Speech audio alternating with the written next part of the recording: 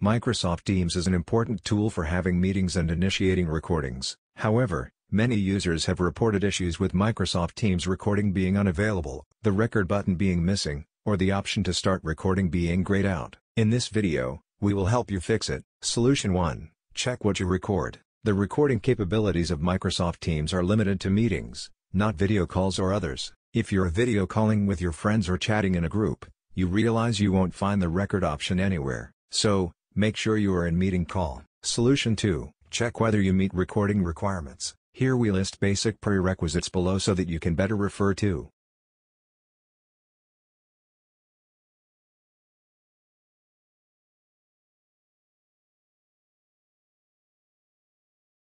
Solution 3. Update Microsoft Teams. Anyone who can't record Teams meeting an application is suggested to first test whether it's possible to use recording feature in its web version. If there is no problem, you should then make an update for Microsoft Teams. Just press on your profile picture, click Check for Updates, restart Teams app and record again.